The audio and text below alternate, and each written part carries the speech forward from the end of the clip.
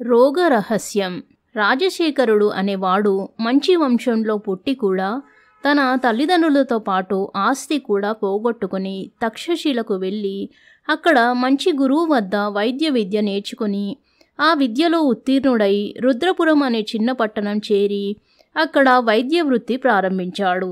త్వరలోనే అతనికి మంచి పేరు వచ్చింది. రామశర్మ అనే యువకుడు అతని వద్ద శిష్యుడిగా చేరి వైద్యం నేర్చుకోవడం ఆరంభించాడు. ఒకనాడు కులశేఖరుడు అనే ఆయన తన కుమార్తె మోహిని అనే పిల్లను రాజశేఖరుడికి తెచ్చి చూపాడు. అప్పుడే యవ్వనంలోకి అడుగుపెడుతున్న మోహిని చాలా చక్కనిది. తండ్రి ఆమె పెళ్ళి చేసే ఆలోచనలో ఉండగా ఆమె కాలి మీద మచ్చలు కనిపించాయి. తండ్రి కంగారు పడి ఆమెను తెచ్చి రాజశేఖరుడికి చూపించాడు. రాజశేఖరుడు మోహినిని పరీక్షించి ఆమెకు కుష్ఠువ్యాధి సోకిందని అది ఇంకా ప్రారంభ దశలోనే ఉన్నదని కులశేఖరుడికి తెలిపాడు. ఈ మాట విని కులశేఖరుడు ఎంతో బాధపడి తన వంశగౌరవం పోతుందని మోహినిని ఎవరూ పెళ్ళాడరని ఆందోళన చెందాడు. ఇది మీకు నాకు తప్ప మరెవరికీ తెలియనవసరం లేదు. మీరు కూడా మోహినికి గాని మరొకరికి గాని ఏమీ చెప్పవద్దు. రెండు సంవత్సరాల పాటు మందు పుచ్చుకుంటే వ్యాధి నయమవుతుంది. తరువాత ఆమెకు నిరభ్యంతరంగా వివాహం చెయ్యవచ్చు అని రాజశేఖరుడు కులశేఖరుడికి ధైర్యం చెప్పాడు. కులశేఖరుడు మనసు కుదుటపడింది. రాజశేఖరుడు మోహినికి ఇచ్చే మందులు వేరే ఒక పెట్టెలో ఉంచి దానికి తాళం వేసి మూడో కంటి వాడికి తెలియకుండా మోహినికి చికిత్స చేస్తూ వచ్చాడు. మోహిని వ్యాధి క్రమంగా నయం కాసాగింది. రెండు సంవత్సరాల గడువు పూర్తిగా వచ్చింది. ఆమె ఏ వ్యాధికి చికిత్స పొందుతున్నది రాజశేఖరుడికి కులశేఖరుడికి మాత్రమే తెలుసు. మోహిని ఇంతకాలంగా దేనికి చికిత్స పొందుతున్నది రామశర్మకు అంతుబట్టలేదు. మోహిని పట్ల అతని ప్రత్యేక శ్రద్ధకు కారణం ఏమంటే అతను ఆమెను పెళ్ళాడాలని గాఢంగా వాంఛిస్తున్నాడు. కానీ అతనికి ఆ మాట పైకి అనే స్థాయి కూడా లేదు. కులశేఖరుడు సంఘంలో చాలా ఉన్నత స్థాయిలో ఉన్నాడు. రామశర్మ ఆ స్థాయికి పెరగలేడు.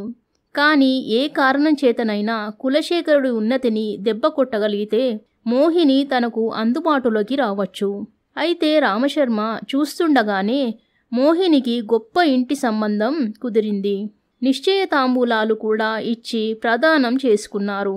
ఇలాంటి పరిస్థితిలో రామశర్మకు తలమని తలంపుగా మోహిని వ్యాధి గురించి రహస్యం తెలిసింది. రాజశేఖరుడు ఎవరో రోగిని చూడడానికి తొందరగా వెళ్ళిపోతూ మోహినికిచ్చే మందులున్న పెట్టెకు తాళం వెయ్యడం మరిచాడు. రామశర్మ ఆ పెట్టె తీసి మందులు పరీక్షించి అప్పటికి తాను సంపాదించిన జ్ఞానంతో మోహిని కుష్ఠువ్యాధికి చికిత్స పొందిందని తెలుసుకున్నాడు.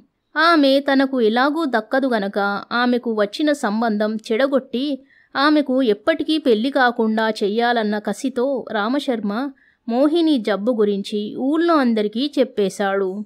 రామశర్మ వైద్యుడి శిష్యుడు కావడం చేత మోహిని రెండేళ్ళుగా వైద్యం చేయించుకున్నా ఆమె వ్యాధి ఫలానా అన్నది రహస్యంగా ఉండడం చేత ఊళ్ళో వాళ్ళు రామశర్మ చెప్పినది సులువుగా నమ్మారు.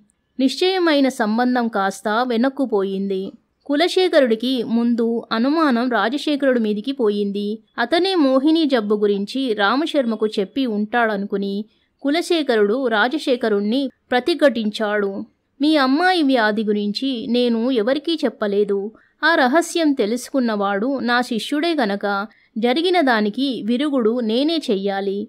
మీరు న్యాయస్థానానికి వెళ్ళి నా శిష్యుడు రామశర్మ మీ అమ్మాయి మీదే అసత్య ప్రచారం చేసి మీ పరువు తీశాడని ఆమె పెళ్ళి చెడగొట్టాడని ఫిర్యాదు చెయ్యండి. నేను మీ తరఫున సాక్ష్యం పలుకుతాను అని సలహా ఇచ్చాడు రాజశేఖరుడు. కులశేఖరుడు రాజశేఖరుడు చెప్పిన విధంగా రామశర్మ మీద ఫిర్యాదు తెచ్చాడు. న్యాయాధికారి రాజశేఖరుణ్ణి పిలిపించి అడిగాడు. మోహినికి ఇప్పుడు కుష్ఠువ్యాధి లేదు. రామశర్మ ఆమె స్థితి తెలుసుకోకుండా ఆమెకు ఆ వ్యాధి ఉన్నదని లోకాన్ని నమ్మించాడు. ఆమెకు నిశ్చయమైన సంబంధం చెడిపోవలసిన అవసరం లేదు. పెళ్ళికొడుకు స్థానంలో నేను ఉండిన పక్షంలో ఆమెను తప్పక వివాహం చేసుకుని ఉందును అని రాజశేఖరుడు న్యాయస్థానంలో చెప్పాడు.